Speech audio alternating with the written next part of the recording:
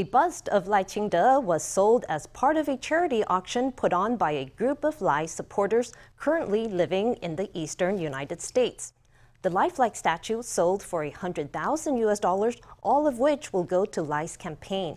The statue's creator is a local artist currently residing in the U.S., but a few years ago, the sculptor was living in his hometown of Tainan when the deadly 2016 southern Taiwan earthquake struck. The sincerity and care that Lai showed as Tainan's mayor still touch his heart to this day. Okay, the auction gavel strikes the podium, announcing a bust of a man has been sold for 100,000 US dollars at a charity auction held by Lai Ching-te supporters living in the eastern United States.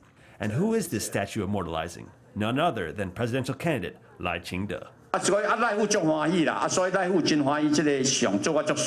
Upon seeing the lifelike statue, Lai Ching-te himself gave his stamp of approval, saying it looked a lot like the real person. The bust is the work of Kuo Chia-hsuan, a Taiwanese artist from Tainan who is currently living in the U.S. When Kuo heard Mayor Lai was going to run for president, he immediately went to work on a statue in order to help raise funds for his campaign. Kuo's support for Lai is entirely based on Lai's response when Tainan City's 17-floor Weiguan building collapsed in an earthquake in 2016.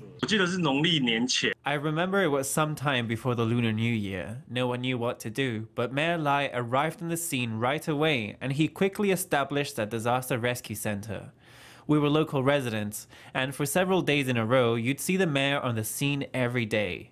I remember one time the mayor was there in the middle of the night. It just really touched my heart. It just shows you what a politician can do. I'd say it was him showcasing what a doctor is meant to do. Kuo said that back then, Lai wasn't sleeping as he watched over the high-rise building's rescue effort. This image of Lai remains in the residents' minds even after all these years.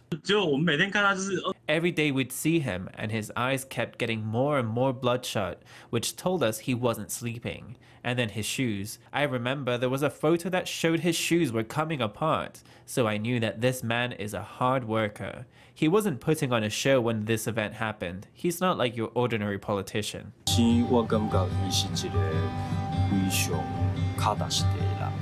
我想要甲伊即个医生的模样，大家看